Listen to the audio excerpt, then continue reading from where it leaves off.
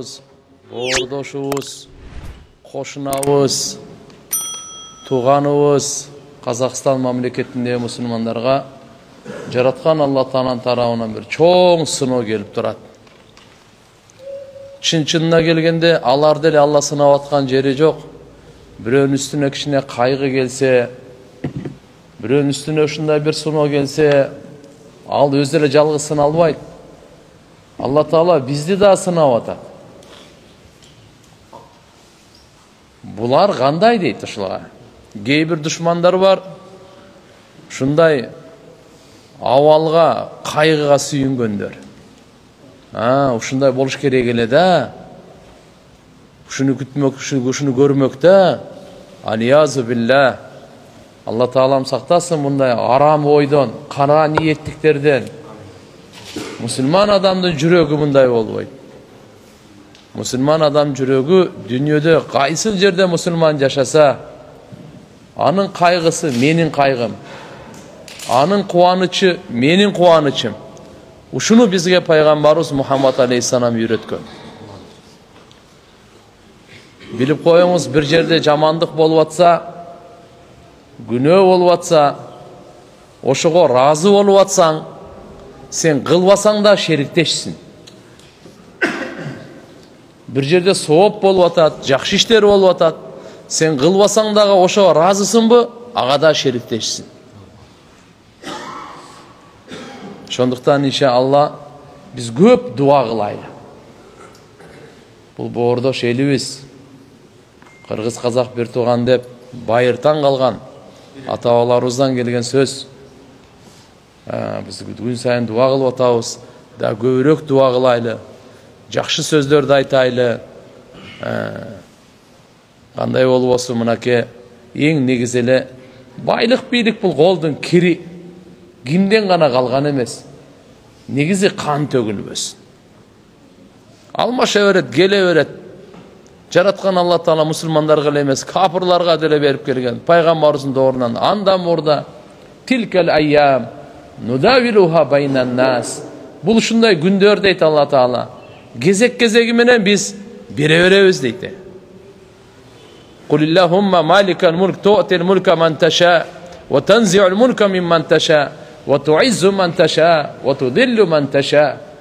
Kimge kalasa Allah Teala mülk, padişahçılık, başkaru, hükümet beret kimden kalasa alıp taştay. Bu Allah Teala'nın işi.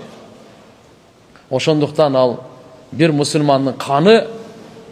казакстандын эле эмес бүткүл дүйнөнүн байлыгына барабар эмес таксырлар ошон үчүн бул жердеги эл бузарлар болот кок алаңдар болот көрө албагандар болот ал деген тууган бирөөнүн баласы же бирөөнүн атасы бирөөнүн бир тууганы ошол жаракат тартып аткан курман болуп аткан жөнөкөй нерсе эмес бүгүнкү күн. Болгондо дагы иншалла биздин кошунабыз андан дагы жакыныраагы бир тууганыбыз алла таалам иншалла кайраттуулук берип акыл эстүүлүк берип шайтандын душмандын жаман кара ниеттик ушундай тополоң коогалаңды каалагандардан алла таалам өзү сактап алардын баардыгын жүзүн кара кылсын амин. Тез эсен ушу кыска аранын ичинде жараткан алла таалам ынтымак берип туруктуулук берип кайсыл жерде билип коюңуз ок чыккан жерде береке болбойт канча болсо да жакырчылык автоматически жокчулук ачкачылык болуп кетет э кандайдыр бир ушундай бир кудайдын немеси бул ошон үчүн иншалла бул жакта канча деген адамдардын канча деген бир буюмдары баягы тономой мародерство деген бул эми мусулмандын шанына туура келбейт бирөөнүкү бирөөгө качан буюрду эле тешип чыкканын көргөнбүз өзгөчө мусулмандыкы мусулман ал буйрубайт тууган аны ал жатып калса дагы албаңыз пайгамбарыбыз бизге ушуга тарбия кылган көчөдө таап алсаңыз уурулук тиякта турсун жөн эле көчөдө таап алдыңыз. Ал сиздики эмес таксы ал бирөөнүкү түшүп калды бирөөнүкү түшүп калды шариятыбыз айтат ошону ал дагы нары жак бери жак тебеленди болуп кетпесин жаман нерсе болуп кетпесин бир жыл ээсин изде дейт эмне дейт ушундай шарияттан айланайын біреунің буюмун урдаган тартып алган алдап алган тиякта турсун жөн эле түшүп калган кокустан ошонун ээсин издеп бир жыл издеп таап берген бир жылда канча жолу издешиң керек экен ар бир күнү беш жолу мына аманат деп мынаны айтат тазалык деп мынаны айтат укук деп мынаны айтат бакыт деп мынаны айтат бирөөнүн мүлкүнө кол салбайт бирөөнүн жанына кол салбайт бирөөнүн абийирине кол салбайт ушундай алла таалам кереметтүү бизге дин берген. Ушундай динди кереметтүү пайгамбар мухаммад алейхисалам алып келген. Бирөөнүн мүлкүнө көз артпа. Бирөөнүн мүлкүн чөнтөгүн санаба бирөөнүн мүлкүнө кол салба ошондуктан иншалла мынау үч төрт күндөн бери мынау үч күндөн бери кандай чоң кайгы болуп атат ошон үчүн көп дуа кылайлы таксырлар көп көп дуа кылайлы ажап эмес балдарыбыздан дуа кылдырайлы алар маасум саби. Аннаби кассаби дейт пайгамбар саби жаш балдардай жаш балдар пайгамбардай кандай булар экөө эле маасум дүйнөдөчү маасум деген күнөөдөн сакталгандарды айтат биз маасум эмеспиз балагатка толгондон кийин адам баласы маасум эмеспиз да пайгамбарлар маасум болгон алар күнөөдөн таза и балагатка толгонго чейин балдар бар го ушулардын баардыгы маасум да ошон үчүн мурдатан аулиялар ушундай бир проблема болуп калганда жаш балдарга кайрылчу экен э дуа кылып койчу депчи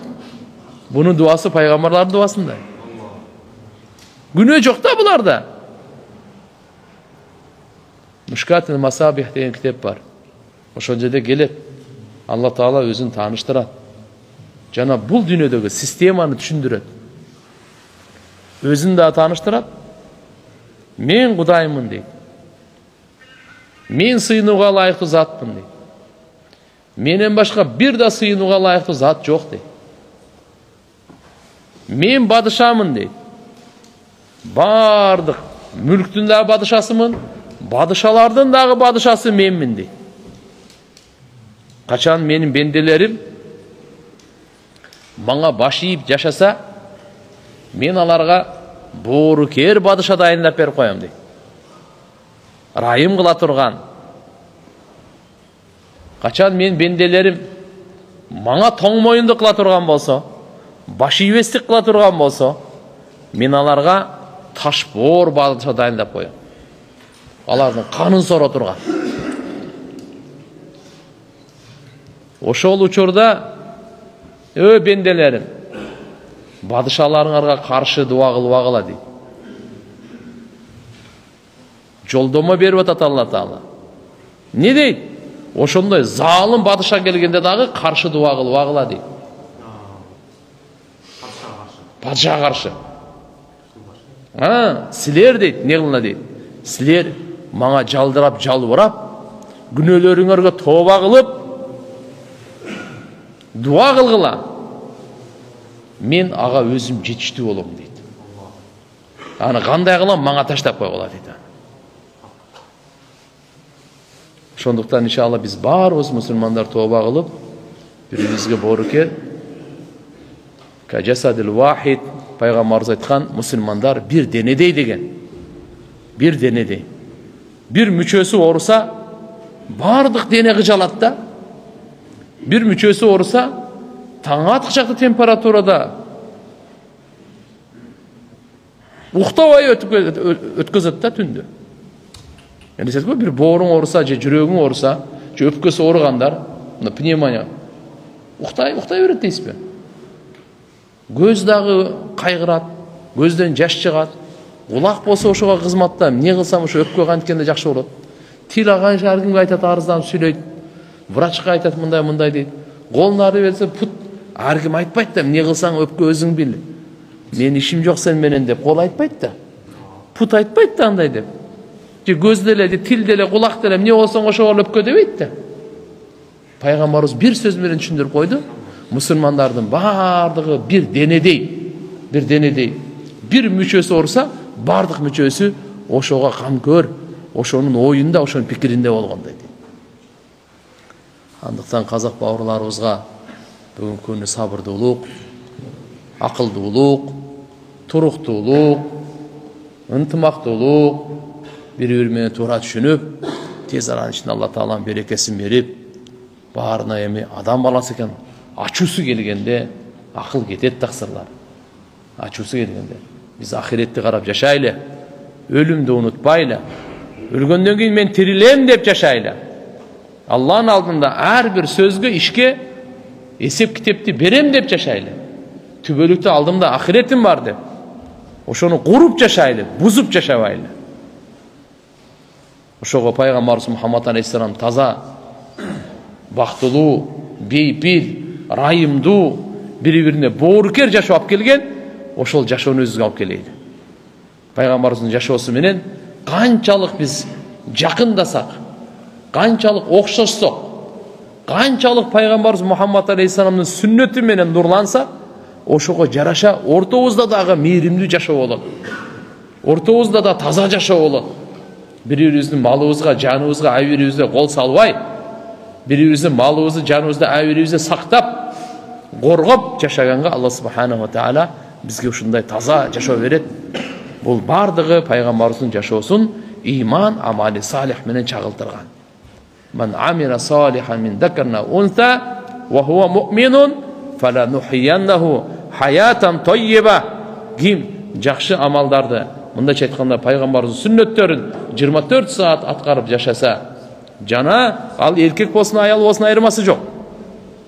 ким болсун айырмасы жок бирок ыймандуу болсун ыйманы бекем ыйманы ахиретке эстете турган алланы эстете турган алла менен бекем байлай турган алла тағаланың азабынан қорқыта тұрған иман болсын да ә? біз ошондойлорго сөзсүз алла тағала айтады жашоону алла берет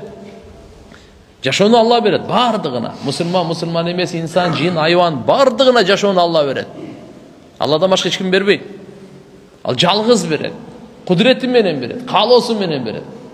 өкүмү менен берет алла таала бирок ошо жашоону кандай жашоо дейт хаятан тойиба ушундай таза ушундай рахаттуу ушундай бейпил ушундай берекелүү ушундай бактылуу жашоо берем дейт алла таала ошон үчүн иншалла келиңиздер туугандар иншалла биз бүгүнкү кайрылуубуз дагы ушул себептен эле ар бирибиз күн сайын ар бир күнүбүз өтө чоң алланын неаматы ушу аркылуу ахиретибизди куруп калайлы мұсылман қандай болуш керек пайғамбарымыз үйреткендей біз ошол кезде біреунің қайғысына күлө тұрған біреунің қайғысына дагы унчукпай эле кое турган ал имандын талабы эмес имандын талабы колубуздан келген жардамды берейли узактабызбы дуа менен жардам берип турайлы жакшы сөз менен жардам берип турайлы бүгүн интернет таласында жакшы ушундай сабырдуулукка ынтымакка жакшы чакыруулар менен қолымыздан келген салымымызды қылып тұрайлы егерде жардам керек болса келіп қалса анда біз алақанымызды ашып жүрегімізді ашып күтіп алайлы мынандай нәрселер туғандар. Қандай болбасын жаратқан алла тағалам барымызға жақсылықты берсін өзгөчө қазақ бауырларыбызға алла тағалам өзінің хидаятын беріп мына азыркы тополоң ушул ойдон болуп токтосун ушул ойдан алла субханала тағала шайтандын отун өчүрсүн элдин баардыгы эми кайра токчулук болуп жакшы бир иншалла маанайда жакшы жашоону алла таалам тартып